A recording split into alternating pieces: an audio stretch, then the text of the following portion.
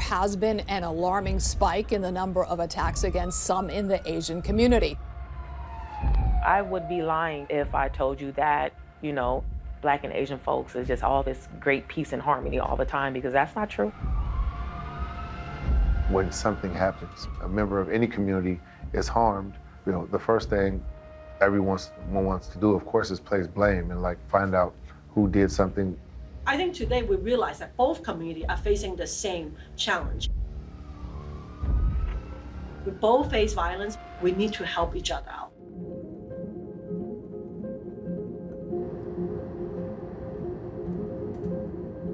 It's about how do we nurture trust? How do we build trust? My name is Eddie Zheng. I'm the president and founder of the New Breath Foundation. New Breath for me is hope and new beginnings.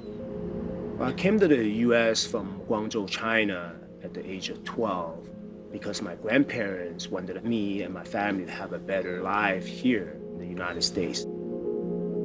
At the age of 16, me and two of the people that I associated with committed a crime of home invasion robbery that led to kidnap to commit robbery. And I ended up spending 21 years uh, incarcerated. So I grew up literally from age 16 to age 37 in the prison system. When I was inside, once I was able to start getting educated and really have the opportunity to uh, reflect on my actions, I was able to find my purpose in life which is to serve the youth and the community.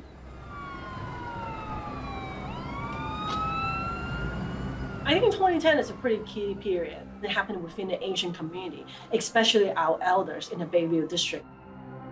There was a lot of fear in the community. This video that went viral was this African American woman, this Chinese woman was on the bus.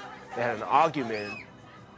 There was another incident. A Chinese woman was standing on the platform and then this one young person would push this woman into oncoming traffic. A lot has been targeted or like really finger pointing to the African American uh, community, saying that they have been bullying the Asian community.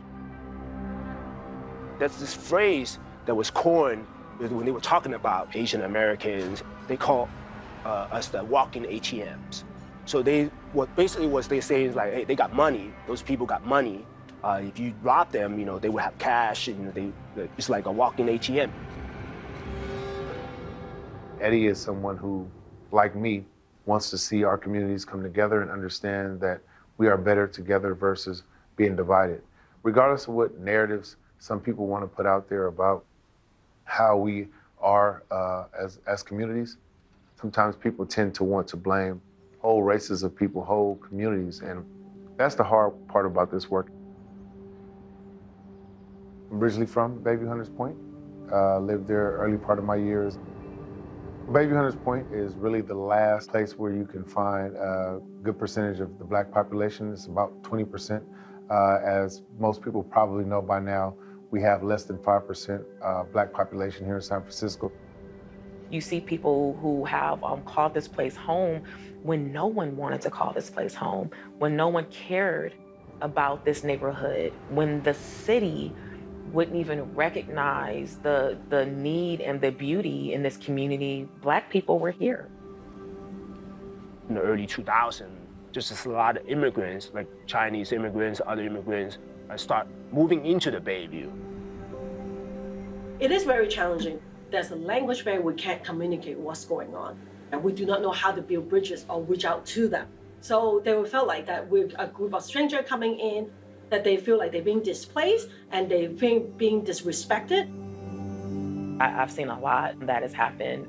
You can talk about it, you can cry about it, and we need to do those things, but what are we going to do to bridge the gap?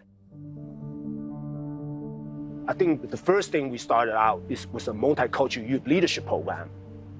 We need to create spaces for cross-cultural uh, engagement. Right? We need to support our young people. We need to start uh, doing more work with the African American community right, in that space. It goes back to what I learned from prison is that we have to invest our young people right, to give them the knowledge and the importance about you know, uh, each other's history. How do we bring each other together and start building? If we don't spend time together, if we try to avoid each other's communities, then it's easy for people to divide us and create their own narratives. And we have to work to, to, to change that.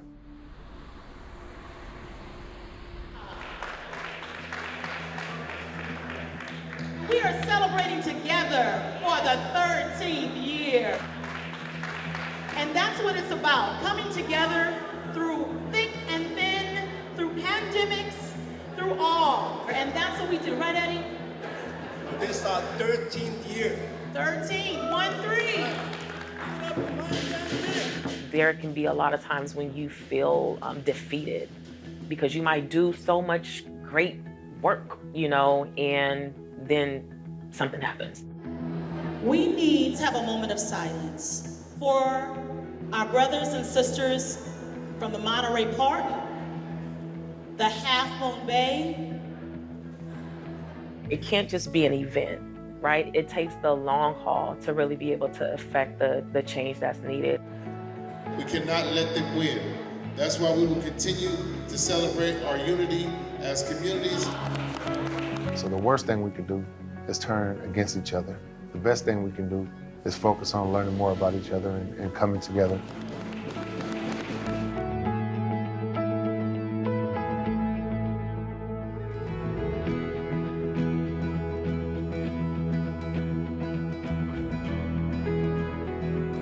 I'm going to do my best to make this world a better place. How can I continue to nurture trust so that we can continue to fight for our collective liberation and not individual liberation? I feel like there's hope.